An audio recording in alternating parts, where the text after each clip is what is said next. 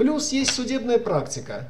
Прямо постановлением Федерального арбитражного суда Западно-Сибирского округа был отменен штраф в отношении перегруза на ось. И вот именно это постановление помогло водителям, которые пошли по стопам других водителей, ссылаться на это постановление о том, что нарушен закон.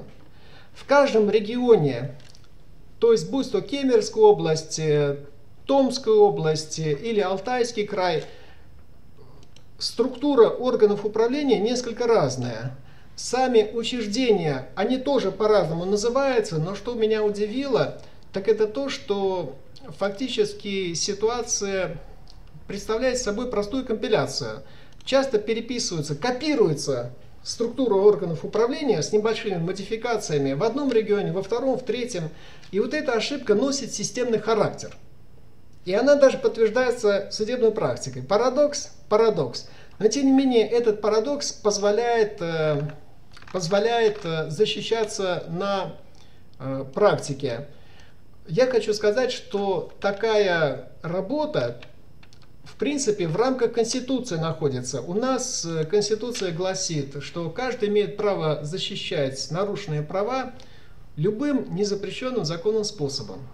Это один из способов отыскать системные изъяны в государственном регулировании. Если вы видите, с одной стороны, неправомерные штрафы и противоречие таких штрафов общему духу закона, в самом деле – этот штраф э, превышает прожиточный минимум гражданина, даже двух граждан, на протяжении одного года. Для индивидуального предпринимателя это очень большой штраф. Постараться обратить внимание путем поиска слабых звеньев в позиции государственного органа. Если подвести итоги нашему сегодняшнему занятию, Алексей Петрович, то хочу заметить, что мы правозащитную деятельность э, представляем как работу требующие инновационных подходов. Здесь не надо бояться создавать прецеденты. Помните, как я вам говорил, первый прецедент в бесплатной приватизации. Она действительно должна быть бесплатна.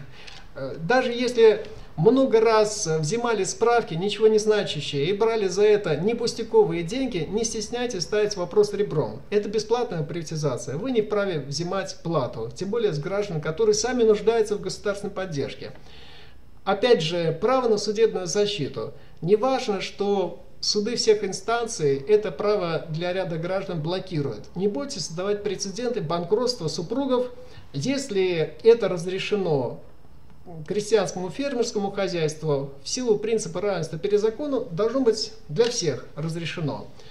Благоприятный шанс для начала медиативной практики. В самом деле, если вы можете защищать э, права социальной группы, которые остро нуждаются. У нас много острых, кричащих социальных проблем.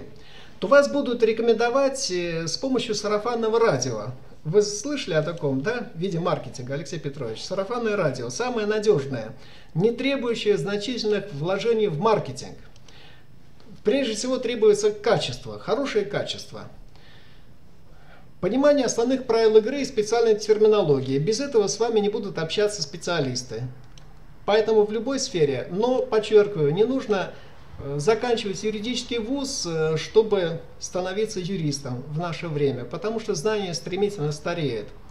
Вот знать информационные технологии, постоянно заниматься самообразованием очень полезно. Отслеживать новости отраслевые тоже очень полезно.